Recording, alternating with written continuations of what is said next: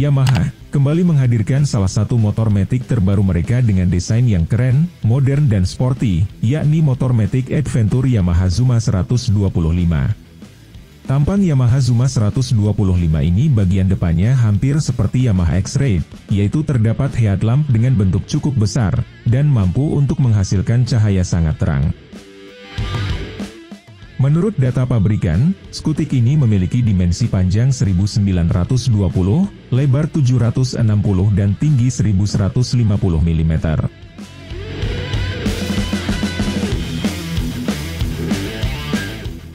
Dengan tinggi jok 785 mm, wheelbase 1340 mm, dan berat 127 kg.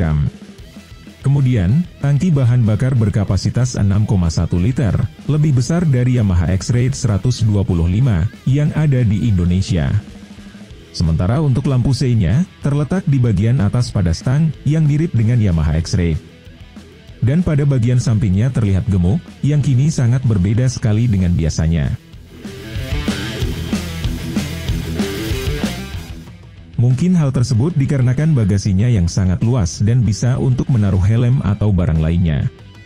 Sama seperti motor Matic Yamaha pada umumnya, untuk jenis motor Matic satu ini, sudah dilengkapi dengan suplai bahan bakar full injection.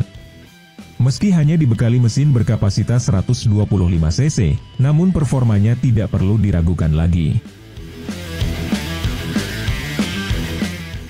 Motor Matic ini dibekali dengan tipe mesin 4-seat air coolant 4 stroke, SOHC, single, 4 valves. Dengan begitu motor ini mampu menghasilkan tenaga maksimal mencapai 8 dk dan mampu mencapai torsi 9,5 Newton.